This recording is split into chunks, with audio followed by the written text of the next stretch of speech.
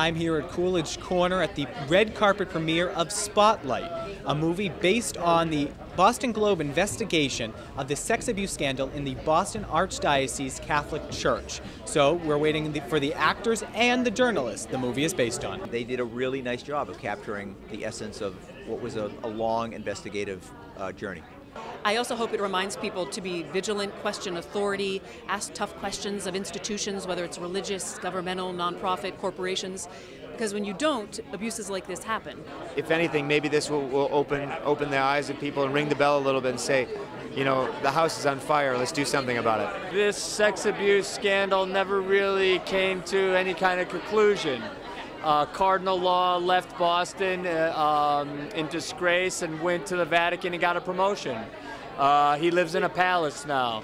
Um, so I, I don't think justice was ever truly served.